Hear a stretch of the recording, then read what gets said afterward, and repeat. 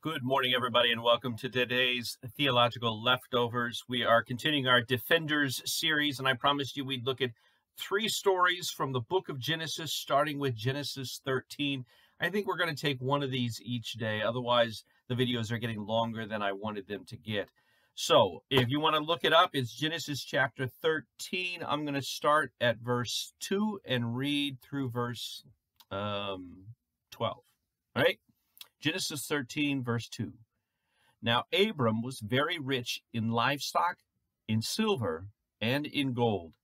And he journeyed on from the Negeb as far as Bethel to the place where his tent had been at the beginning, between Bethel and Ai, to the place where he had made an altar at the first. And there Abram called upon the name of the Lord. And Lot, who went with Abram, also had flocks and herds and tents so that the land could not support both of them dwelling together, for their possessions were so great that they could not dwell together. And there was strife between the herdsmen of Abram's livestock and the herdsmen of Lot's livestock. At that time the Canaanites and the Perizzites were dwelling in the land. Then Abram said to Lot, Let there be no strife between you and me, and between your herdsmen and my herdsmen, for we are kinsmen. Is not the whole land before you? Separate yourself from me. If you take the left hand, then I will go to the right. Or if you take the right hand, then I will go to the left. And Lot lifted up his eyes and saw that the Jordan Valley was well watered everywhere, like the garden of the Lord, like the land of Egypt in the direction of Zoar. This was before the Lord destroyed Sodom and Gomorrah. So Lot chose for himself all the Jordan Valley, and Lot journeyed east. Thus they separated from each other.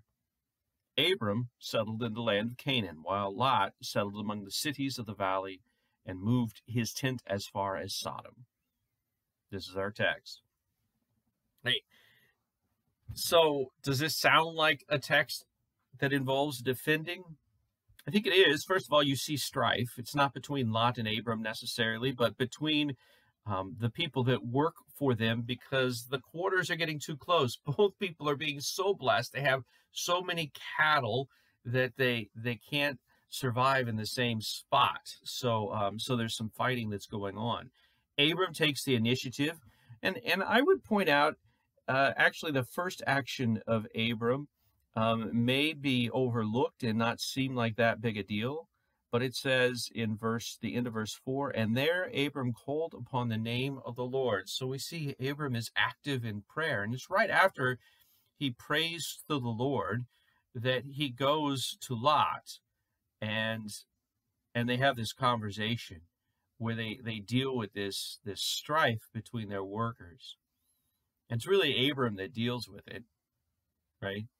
Um, Abram makes a sacrifice in in order that that um, for the sake of Lot, for the sake of his neighbor, for the sake of the well-being of his neighbor and his workers and everything else. This is this is right in keeping with the Ten Commandments, even though officially the Ten Commandments haven't been given. We see them being uh, being kept very well here by Abram, who understands that God has made a promise to him, who understands that God is going to bless him wherever he is, that, that he doesn't have to fight to hold on to stuff. He's willing to sacrifice.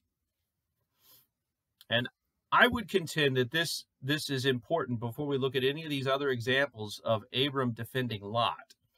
That that this is fundamental. First of all, we see Abram in prayer. Second of all, we see Abram living according to the promises of God, not afraid to that like he has to hold on to grab hold on uh, hold of uh, whatever is is best in front of him um, or he'll lose everything uh, but he understands that god will fulfill his promises so he can be generous. And he is generous to lot. He even sacrifices. And again i would contend that that this is key. This is fundamental when it comes to us being good godly defenders. We have to have a willingness to sacrifice for the for our neighbor, for the person we're trying to defend. A sacrificial heart that understands we don't have to be afraid of losing anything because whatever matters um, God will, will store up for us and keep for us or restore to us. We can be generous and we can give. There are a lot of things, uh, for example, when we think about defending our neighbor, the first thing that pops into our head is is is physically defending them or or verbally defending them. And and I would contend the first thing, if we're going to be good defenders for our neighbor, for our loved ones, the first thing that we have to defend them against is our own heart. Because we are prone to make decisions that are very self centered and not focused on what is best for our neighbor. And so, if we are going to be good defenders, the first thing we have to deal with is our own heart.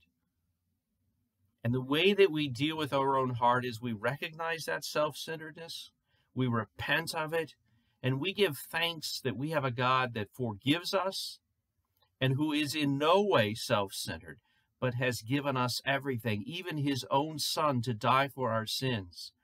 Even the whole kingdom of heaven, God has chosen to give us, not because we deserve it, but because he loves us and because he has promised these things to us.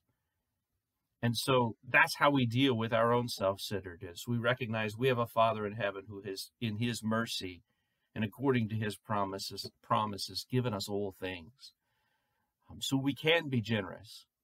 We can, we can, by the help of the Holy Spirit, we can, we can, I don't want to say this, we can let go of that self centeredness and we can love our neighbor.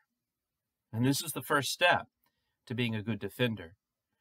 Next, we're not going to read it, but next we're going to look at Genesis chapter 14. And again, probably Sunday I won't have time to do that. So Monday we'll be looking at Genesis 14 if you want to do a sneak peek ahead and take a look. Um, in fact, if you look at it, um, you got a day and a half, almost two days to look at it and throw me a couple of questions. Um, if there's a couple of particular things that you would like to address, let me know and I'll be happy to do that. But you got to let me know. All right.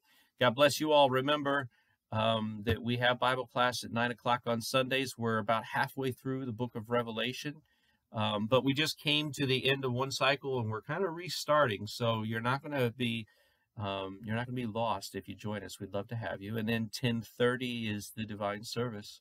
And you, if you, well, whether or not you're in Evansville, if you want to make the drive, you are welcome uh, to join us. We'd love to have you. God bless you all. God bless the end of your week.